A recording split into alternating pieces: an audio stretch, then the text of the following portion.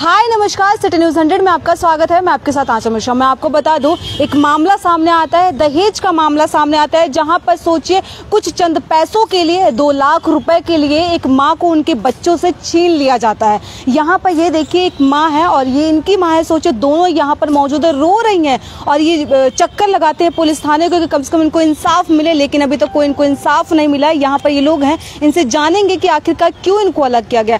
आप माँ है? हाँ क्या हुआ था? मैंने इसकी शादी की। जी कब शादी की थी इनकी? दो साल पहले शादी की इसकी।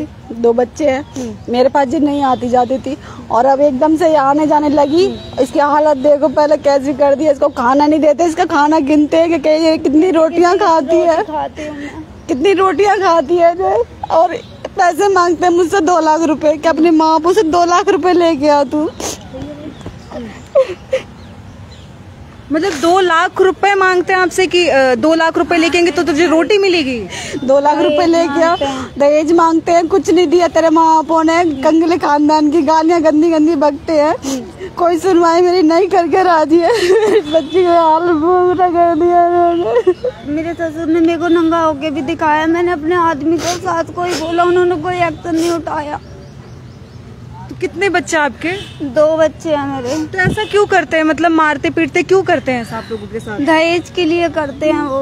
दहेज के लिए? क्यों शादी से पहले आपने कोई पूछताछ या फिर कोई ऐसी बात नहीं रखी करी थी मेरी मम्मी ने कुछ नहीं मांगा था उन्होंने शादी के पहले में कुछ नहीं चाहिए सब कुछ है हमारे पास सब कुछ है। और अब कहते हैं कंगले खानदान की गंदी नीच क्या कहते दुनिया भर की गंदी गंदी गालियाँ बकते हैं जिसका जवाब नहीं है मेरे पास। इतनी गंदी गंदी गालियाँ कि मैं तो बोल गालियाँ बकता गंदी गंदी। हाँ जी। ससुर भी मेरा गाली बकता है गंदी गंदी मुझे। अच्छा तो मतलब सिर्फ़ एक दहेज के लिए पैसों के लिए आपकी रोटियाँ तक गिरी जाती है? हाँ जी कहती चार चार रोटियाँ खाती है इतनी रोटियाँ खाती है। कभी मेरी बेटी को ढंग से कपड़े लगते नहीं पहनाए लड़ने के लिए चिपट इसकी लड़कियाँ इसकी नंदे इसको मारती हमारे घर पे आए थे ना तो लड़ने के लिए तैयार हो गए थे हमसे। अच्छा तो मतलब अभी बच्चे कहाँ हैं आपके? एक लड़की मेरे पास है लड़का वो मेरे को देते नहीं है। लड़का लड़का आपको देते नहीं है लड़का ससुराल वालों के पास है। ऐसा क्यों लड़का क्यों नहीं देते? लड़का चाहिए था आपको लड़का लड़का मिल गया लड़का ले लिया लड़की से कोई लगाव नहीं है लड़की मेरे पास है। मतलब लड़के से कोई लगाव लड़के से लगाव है लड़का उन्होंने अपने पास रख हाँ। रखा है और एक लड़की आपकी है वो लड़की यहीं पर आपके पास। हाँ। उसको कभी फ़ोन कॉल से या फिर लेके नहीं जाते उसको? कोई पूछताछ नहीं कोई फ़ोन नहीं किया एक महीने से। मेरे हस्बैंड के लेके चले जाओ इसको मेरी तबीयत खराब है। और उठाया कह रहा क्या आ रहा हूँ मैं? आया भी नहीं लड़की लेने मेरी इतनी हालत खराब एक है। बार पूछा मेरी मम्मी एक महीने से चक्कर काट रही है अस्पताल के। रोज मेरी इतनी हालत खराब है रोती है वो रातों को मेरे चक्कर में। इन्होंने मेरे साथ ऐसा कर दिया अब देखते भी नहीं है मुझे। तो कितने सालों से आप ऐसे रो रही हैं? मतलब कितने सालों से आपको ऐसे प्रताड़ित कर रहे हैं? हस्बैंड मेरा पहले बहुत मारता था मुझे। मारते थे आपको? हाँ जी। मतलब शराब वगैरह नशा या फिर कोई अफेयर ऐसा कुछ समथिंग पीता है वो लड़की लड़कीबाजी में भी है दारू पी बहुत पीता है वो शराब इतनी पीता है इसको है मारता है। बुरी तरीके से। अच्छा। बिना गलती के भी मारता है मेरी सास बोल देती है तो। तो मतलब सा, सास बोल देती है मतलब सास भी सपोर्ट नहीं करती दो नंदे हैं वो भी आपको सपोर्ट नहीं वो, करती। वो लड़ते हैं मेरे से सब। क्यों लड़ते हैं वो लोग आपसे? कि ये नहीं करती वो नहीं करती और दान दहेज कुछ नहीं लाई तो अपने घर से मतलब एक तरीके से वो आप लोग को ये बोलते हैं कि घर का काम नहीं करती है इस वजह से वो लोग आपको मारती फिर तो दहेज लेके नहीं आई है। दहेज नहीं लाई। अच्छा तो शादी से पहले आप लोगों ने कोई ऐसे खोजबीज नहीं की थी कि लड़के की डिमांड हो कुछ और? या फिर कोई उसका कुछ नहीं बोला, कुछ नहीं बोला था उन्होंने इसलिए हमने सोचा कि कुछ मांग ही नहीं रहे हैं तो फिर क्या दिक्कत है? अच्छा। और अब मांगते हैं वो। अब कहते हैं तू ऐसे घर से आई है। तो पहले नहीं दिखा था उनको कि तुम कैसे घर से आ रही हो? बोला था मेरी मम्मी ने मेरे पास कुछ नहीं है। मेरी मम्मी ने मांग के पैसे शादी करी है ब्याज पे लेके। फिर भी वो कहते कि अपनी मम्मी से कुछ लेके आ कर। मेरी मम्मी के पास कुछ नहीं है काम करती है घर का जो मेरा इलाज करा रही है अब भी। क्या हुआ आपको? मेरे पेट में दिक्कत है सिटी स्कैन लिखा था अभी। अच्छा। तो कहाँ रहते हो आप लोग? अभी हम पलवल रह रहे हैं हमारे यहाँ घर था वो टूट गया। अच्छा। अब हम पलवल में रहते हैं। कितने बच्चे हैं आपके? मेरी चार बे, तीन बेटियाँ हैं दो बेटे हैं मेरे जिसमें सब में बड़ी जे है। इसकी हालत देख लो कैसी हो रही है बड़ी लाग है ये। क्या कोई कह सकता है कि ये बड़ी है? अब तो ये भी डर लग रहा हो कि बड़ी बेटी के साथ ऐसा हुआ तो छोटियों के साथ ना हो जाए शादी कर दे तो। मैं बिल्कुल नहीं कर सकती शादी नहीं है उनके लिए शादी कराने की बिल्कुल भी।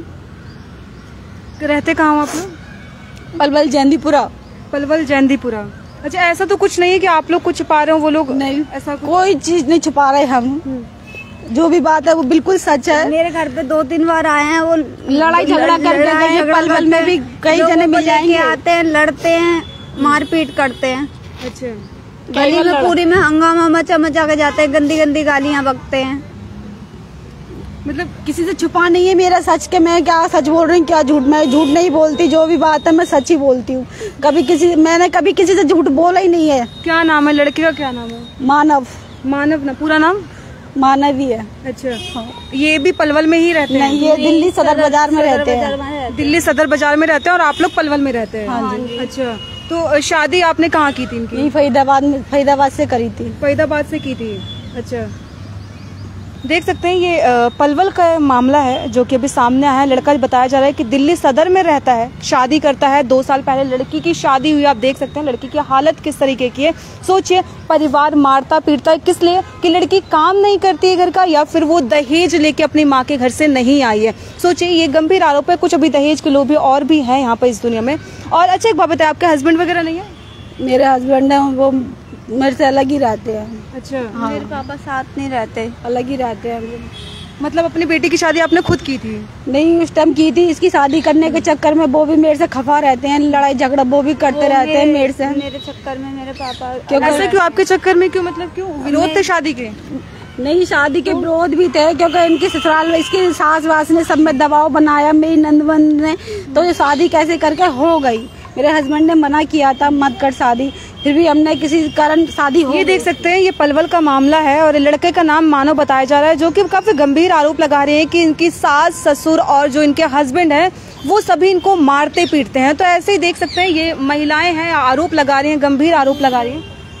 दूसरा पक्ष जो है, मैं आपको बता दूँ गंभीर काफ़ी आरोप लगा रहे हैं हस्बैंड पे लगा रहे हैं। अगर दूसरा पक्ष, अगर वो भी अपने पक्ष में अपनी बात रखना चाहता है कि क्या सच है, क्योंकि इन्होंने जो आरोप लगाए हैं, वो दहेज का आरोप लगाए हैं, मारने पीटने का आरोप लगाया गया है। तो अगर जो दूसरा पक्ष है, जो लड़का पक्ष है, जिसका ये नाम बता रही है, मानव बता रही है नाम, जो कि दिल्ली सदर में रहता है, शायद उनकी फैमिली पे आरोप लगा रहे हैं, अगर वो भी अपनी बात रखना चाहते हैं तो सिटी न्यूज़ हंड्रेड के पेज पर रख सकते हैं। मैं आपको एक नंबर बता रही हूँ, उस पर आप डायल करके इससे बात कर सकते हैं। Nine eight seven one one three five eight seven two. इस नंबर पे आप कॉल कर सकते हैं और अपना जो भी पक्ष है या फिर जो भी सच है, इन्होंने क्या बताया है, क्या झूठ है, क्या सच है, क्योंकि इन्होंने अपना पक्ष रखा अगर आप अपना पक्ष रखना चाहते हैं तो ज़रूर वेलकम है सिटी न्यूज़ हंड्रेड के पेज पे। तो ऐसी तमाम खबरों को देखने के लिए इसमें जो ये बता रहे हैं कि पुलिस प्रशासन को इस पर कार्रवाई करने की आवश्यकता है, क्योंकि माँ बेटी हैं, भटक रही हैं दर दर भटक रही हैं। बताया जा रहा है कि कई बार चक्कर लगा चुके हैं पुलिस प्रशासन के, लेकिन अभी तो कोई कार्रवाई नहीं हुई है, इनकी कोई सुनवाई नहीं की गई है। तो पुलिस प्रशासन को भी इस पर कार्रवाई करने की आवश्यकता है, क्योंकि मजबूर हैं दोनों माँ बेटियाँ सोचे गरीब हैं